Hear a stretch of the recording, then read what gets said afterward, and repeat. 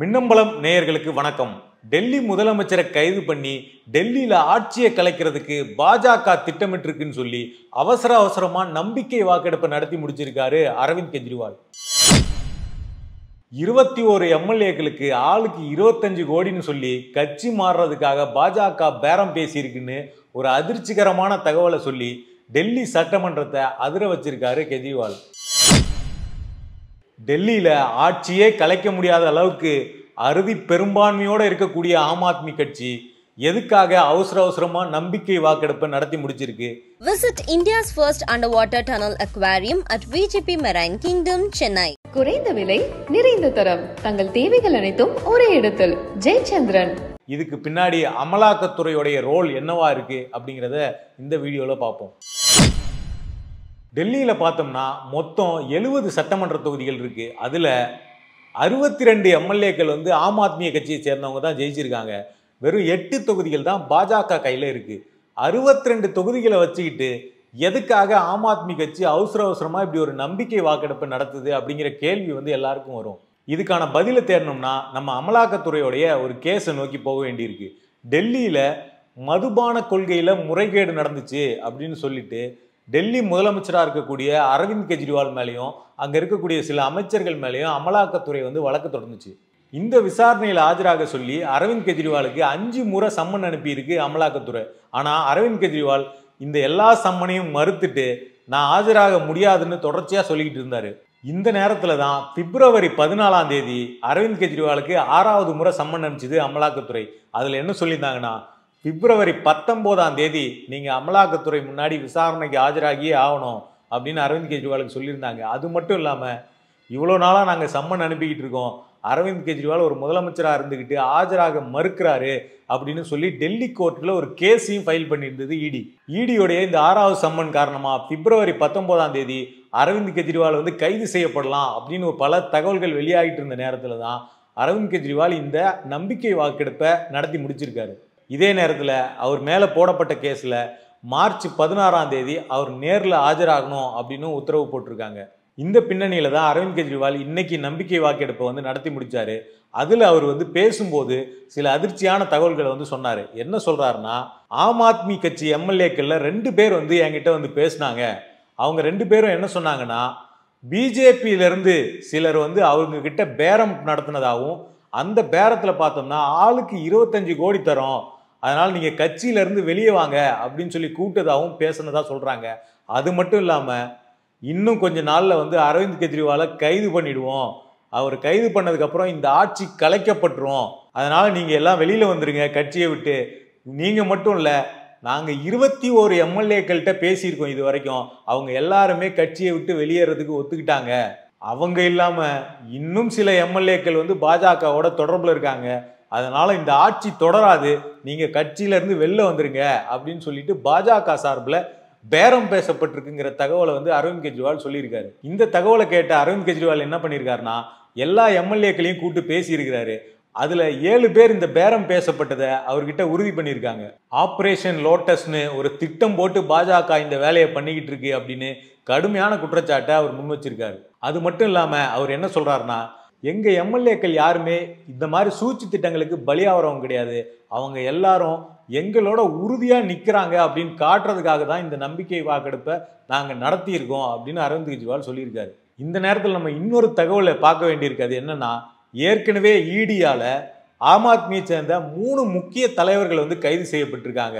அதில் ரொம்ப குறிப்பாக பார்த்தோம்னா டெல்லியினுடைய துணை முதலமைச்சராக இருந்த மணிஷ் சிசோடியா அவர் ஈடியால் கைது செய்யப்பட்டார். அது மட்டும் இல்லாமல் டெல்லியினுடைய ராஜ்யசபா எம்பியாக இருந்த சஞ்சய் சிங் அவரும் ஈடியால கைது செய்யப்பட்டார். டெல்லியினுடைய ஹெல்த் மினிஸ்டர் இன்னும் பல துறைகளில் பொறுப்பு வகித்த சத்யேந்திரா ஜெயின் அவரும் கைது செய்யப்பட்டிருக்காரு. இப்போ இந்த மூணு பேருக்கு அப்புறம் நாலாவதா டெல்லியினுடைய முதலமைச்சரே குறிவைக்கப்பட்டிருக்காரு. அதனாலதான் இந்த நம்பிக்கை வாக்கெடுப்பை பார்த்தோம்னா இப்போ அவசர அவசரமாக நடத்தியிருக்காங்க.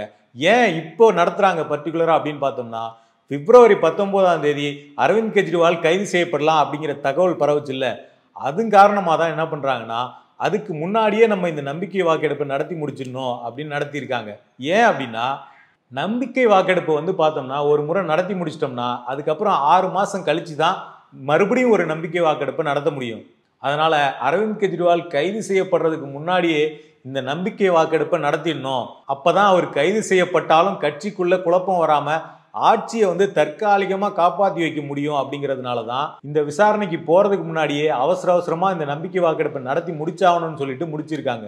இன்னைக்கு நடந்து முடிஞ்ச அந்த வாக்கெடுப்பில் ஆம் ஆத்மி கட்சியுடைய அறுபத்தி ரெண்டு எம்எல்ஏக்களில் ஐம்பத்தி நாலு பேர் பங்கேற்றிருக்காங்க. எட்டு பேர் ஆப்சென்ட் ஆயிருக்காங்க. இதை பற்றி கெஜ்ரிவால் பேசும்போது என்ன சொல்லியிருக்காருன்னா அதில் ரெண்டு பேர் ஜெயிலில் இருக்காங்க. மீதி ஆறு பேர் வந்து உடல்நிலை சரியில்லாமலோ இல்லை அவுட் ஸ்டேஷன்லயோ இருக்கலாம் அப்படின்னு சொல்லியிருக்கிறாரு. இந்த நம்பிக்கை வாக்கெடுப்பு பத்தி பேசும்போதெல்லாம் குறிப்பா பாஜகவையும் அமலாக்கத்துறையையும் ஆம் ஆத்மிக்காரங்க வந்து தொடர்ச்சியா அட்டாக் பண்ணிக்கிட்டே இருக்காங்க. ஏற்கனவே பார்த்தோம்னா ஜார்க்கண்டினுடைய முதலமைச்சர் ஹேமந்த் சோரன் அவர் கைது செய்யப்பட்டார். அது தொடர்ந்து பார்த்தோம்னா பீகாரினுடைய ராஷ்டிரிய ஜனதா தளம் தலைவர் லல்லு பிரசாத் அவர் கடந்த ஜனவரி மாதம் எண்டில் வந்து விசாரணைக்கு அழைக்கப்பட்டிருக்காரு. அந்த வழக்கில் வந்து அவருடைய மகன் தேஜஸ்வி யாதவ் அவரும் இணைக்கப்பட்டிருக்காரு. இது மட்டும் இல்லாமல் மேற்கு வங்கத்தினுடைய முன்னாள் எம்பி எம்பியா இருந்து பதவி இழக்க செய்யப்பட்டவங்க மகுவா மொய்த்ரா அவங்க மேலேயும் இடி வந்து வழக்கு தொடர்ந்துருக்கு. இதே மாதிரி தமிழ்நாட்டில் செந்தில் பாலாஜி அமைச்சர் செந்தில் பாலாஜி கைது செய்யப்பட்ட பிறகு இங்க இன்னும் அமைச்சர்கள் வந்து ஐ பெரியசாமி அனிதா ராதாகிருஷ்ணன் இந்த மாதிரி பட்டியல் வந்து நீண்டுகிட்டே போகுது. தொடர்ச்சியா எதிர்க்கட்சியை சேர்ந்த அமைச்சர்கள் எம்பிக்கள் எம்எல்ஏக்கள் எல்லாருமே அமலாக்கத்துறையால் குறிவைக்கப்பட்டிருக்காங்க அப்படிங்கிற குற்றச்சாட்டு வந்து எதிர்க்கட்சிகள் தொடர்ச்சியாக வச்சுக்கிட்டு இருக்காங்க.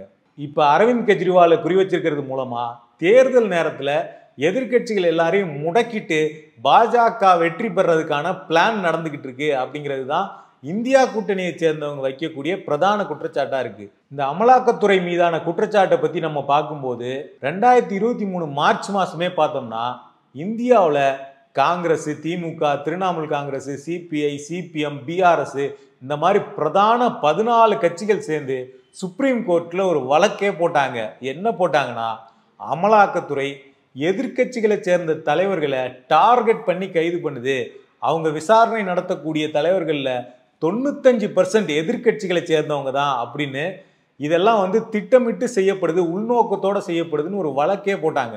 அதுக்கு முன்னாடியே பார்த்தோம்னா ரெண்டாயிரத்தி இருபத்தி ரெண்டு செப்டம்பர் மாதம் இந்தியன் எக்ஸ்பிரஸ் பேப்பர் வந்து ஒரு ஆய்வு பண்ணியிருந்தது. நீதிமன்றத்தில் இது வரைக்கும் அமலாக்கத்துறையால் தொடரப்பட்ட வழக்குகளுடைய டாக்குமெண்ட் இருக்குல்ல அந்த டாக்குமெண்ட்ஸ் அடிப்படையில் இந்த ஆய்வை வந்து அவங்க பண்ணியிருந்தாங்க. இந்த ஆய்வில் அவங்க என்ன சொல்ல வராங்கன்னா அமலாக்கத்துறையால் இது வரைக்கும் நூற்றி இருபத்தோரு பேர் அரசியல் சார்ந்தவர்கள் கைது செய்யப்பட்டிருக்காங்க. அதில் எதிர்க்கட்சிகளை சேர்ந்தவங்க எத்தனை பேர் அப்படின்னு பார்த்தோம்னா நூற்றி பதினஞ்சு பேர். வெறும் ஆறு பேர் தான் பாஜகவும் பாஜகவோட கூட்டணியில் இருக்கிறவங்களும் கைது செய்யப்பட்டிருக்காங்க. கிட்டத்தட்ட எதிர்க்கட்சிகள்லாம் உச்சநீதிமன்றத்தில் ஒரு கேஸ் போட்டாங்க இல்லைங்களா? நூ தொண்ணூத்தஞ்சு பர்சன்ட் பேர் வந்து எதிர்க்கட்சி தலைவர்களை தான் கைது பண்ணுறாங்கன்னு அவங்க சொன்னதை நிரூபிக்கிற வகையில் தான் இந்தியன் எக்ஸ்பிரஸோடைய இந்த ஆய்வு வந்து அமைஞ்சிருக்கு. ஏன்னா நூற்றி இருபத்தோரு பேரில் நூற்றி பதினஞ்சு பேர் எதிர்கட்சியை சேர்ந்தவங்க மேலே தான் இடி விசாரணையும் ரெய்டும் நடந்திருக்கு. எதிர்க்கட்சியை சேர்ந்தவங்க மேலே விசாரணை நடத்தி கைது செய்து அவர்கள் முடக்குதல் அப்படிங்கிறது ஒரு பக்கம் இருந்தாலும் அமலாக்கத்துறை விசாரணை நடத்தின பிறகு நிறைய பேர் பாஜகவில் வந்து சேர்ந்திருக்கிறாங்க. அவங்க அப்படி பாஜகவில் வந்து சேர்ந்ததுக்கப்புறம் அவங்க மீதான விசாரணை அப்படிங்கிறது ஸ்டாப் பண்ணப்பட்டிருக்கு நிறுத்தப்பட்டிருக்கு அப்படிங்கிற குற்றச்சாட்டும் வைக்கப்படுது. இன்னைக்கு அஸ்ஸாமில் பாஜக சார்பாக முதலமைச்சராக இருக்கிறவரு ஹிமந்தா பிஸ்வா சர்மா அப்படிங்கிறவர். இவர் ரெண்டாயிரத்தி பதினாலுக்கு முன்னாடி வரைக்கும் பார்த்தோம்னா காங்கிரஸ்ல இருந்தார். இவர் மேலே சாரதா சிட் ஃபண்ட் கேஸ்னு ஒரு கேஸ் இருந்தது. அந்த கேஸை இடியும் சிபிஐயும் விசாரிக்க ஆரம்பிச்சது. இவர் உடனே என்ன பண்ணாருன்னா பாஜகவுக்கு மாறினாரு. பாஜகவுக்கு மாறி இன்னைக்கு அவர் வந்து பாஜகவில் அஸ்ஸாமில் முதலமைச்சராகவே மாறிட்டாரு. அவர் மீதான அந்த வழக்குகள் இருக்குல்ல அதில் எந்த முன்னேற்றமும் இல்லாமல் அப்படியே அது பெண்டிங்கில் கிடக்கு. அதே மாதிரி மேற்கு வங்க மாநிலத்தில் திரிணாமுல் காங்கிரஸ் கட்சியில் சுவேந்து அதிகாரி அப்படின்னு ஒரு முக்கியமான நபர் இருந்தார். அவர் மேலேயே இடி விசாரணை வந்து நடந்தது. அவர் என்ன பண்ணார்னா மேற்கு வங்கத்தில் சட்டமன்ற தேர்தல் வர்றதுக்கு முன்னாடி பாஜகவில் போய் இணைஞ்சாரு. அவரை மம்தா பானர்ஜிக்கு எதிராக அவர் நிற்கிற தொகுதியிலே நிற்க வச்சு மம்தா பானர்ஜியை இந்த சுவேந்து அதிகாரியை வச்சே பாஜக தோற்கடிச்சுது. அதே மாதிரி பஞ்சாப்ல பார்த்தோம்னா காங்கிரஸ்ல முதலமைச்சராக இருந்தவர் கேப்டன் அமரிந்தர் சிங் அப்படிங்கிறவர். அவருடைய மகன் மேல இடி வந்து ரெய்டு விட்டாங்க. அவர் இப்ப என்ன பண்ணிட்டாருன்னா பாஜகவில் வந்து சேர்ந்துட்டாரு. அந்த வழக்கு அப்படியே அமுங்கி போயிருக்கு. இதே மாதிரி தேசியவாத காங்கிரஸ் கட்சியில அஜித் பவார் இருக்காரு. இன்னைக்கு பாஜக கூட்டணியில இருக்காரு. இவர் மேல பார்த்தோம்னா பிரதமர் மோடியே நேரடியாக ஊழல் குற்றச்சாட்டு வச்சு மகாராஷ்டிராவுக்கு நேரடியாக போய் அஜித் பவாரை எதிர்த்து பிரச்சாரம் பண்ணார் மோடி. அவரும் பார்த்தோம்னா இடியினுடைய விசாரணை பார்வைக்குள்ளே வந்தார். இன்னைக்கு என்ன பண்ணாருன்னா அவர் பிஜேபி கூட்டணியில் போய் சேர்ந்துட்டாரு. தேசியவாத காங்கிரஸை ரெண்டா உடைச்சி. இப்போ அவர் மேலே இருக்கக்கூடிய வழக்குகள்லாம் பெண்டிங்கில் போயிடுச்சு. அதே மாதிரி நம்ம தமிழ்நாட்டில் திமுகவினுடைய அமைச்சர் செந்தில் பாலாஜி கைது செய்யப்பட்டு விசாரணைக்கு உட்படுத்தப்பட்டார். அந்த விசாரணையின் போது ஒரு முக்கியமான தகவலை வந்து வழக்கறிஞர் கபில் சிபல் வந்து வெளில சொன்னார். செந்தில் பாலாஜியை விசாரிக்கும் போது ஏன் நீங்கள் பிஜேபியில் சேரக்கூடாதுன்னு அமலாக்கத்துறையை சேர்ந்தவர்கள் கேட்டதா? வழக்கறிஞர் கபில் சிபில் நேரடியாக பதிவு பண்ணார். இப்படி ஈடியால் விசாரணை வளையத்துக்குள்ள வந்தவங்கலாம் நிறைய பேர் பாஜகவில் சேர்ந்துக்கிட்டு இருக்காங்க அப்படிங்கிறதுனால தான் எதிர்க்கட்சிகள் சேர்ந்தவங்கலாம் என்ன பண்ணாங்கன்னா பாஜக வாஷிங் மிஷின் ஒன்று இருக்குது. நீங்கள் ஏதாவது ஒரு குற்றச்சாட்டுக்கு உள்ளாயிருந்தீங்க. உங்கள் மேலே நிறைய வழக்கு இருக்குது அப்படின்னா நீங்கள் போய் பிஜேபியில் சேர்ந்தீங்கன்னா அந்த வாஷிங் மிஷின் வந்து உங்களுடைய குற்றத்தை எல்லாம் தூய்மைப்படுத்தி அனுப்பிச்சி விட்றோம் அப்படின்னு எதிர்க்கட்சிகள்லாம் இதை ஒரு குற்றச்சாட்டாகவே வச்சு பிஜேபி வாஷிங் மிஷின் ஒரு சொல்லையே பயன்படுத்த ஆரம்பித்தாங்க இப்போ நம்ம சொன்ன இந்த பட்டியல்லாம் இல்லாமல் இன்னும் இந்த பட்டியல் நீண்டுக்கிட்டே தான் போகுது. அந்த பட்டியலுக்குள்ள அரசியல் ரீதியாக முடக்கிறதுக்காக தான் இன்னைக்கு அரவிந்த் கெஜ்ரிவாலை கைது பண்ணக்கூடிய சதி நடக்குது அப்படின்னு ஆம் ஆத்மியிலேருந்து சொல்கிறாங்க அரவிந்த் கெஜ்ரிவால் கைது செய்யப்பட்டார்னா ஆட்சி எந்த தடுமாற்றத்துக்கும் உள்ளாகக்கூடாது. ஆட்சியை வந்து தக்க வைக்கணுங்கிறதுக்காக தான் இந்த நம்பிக்கை வாக்கெடுப்பு வந்து இப்படி நடத்தப்பட்டிருக்கு அப்படின்னு டெல்லி வட்டாரங்களில் பரபரப்பாக பேசப்படுது. இது மாதிரியான தகவல்களை தொடர்ச்சியாக பார்க்கணும்னா மின்னம்பலம் சேனலை பின்தொடருங்க. Visit India's first underwater tunnel aquarium at VGP Marine Kingdom, Chennai. குறைந்த விலை நிறைந்த தரம். தங்கள் தேவைகள் அனைத்தும் ஒரே இடத்தில். ஜெயச்சந்திரன். மின்னம்பலம் டாட் காம் தமிழின் முதல் மொபைல் பத்திரிகை.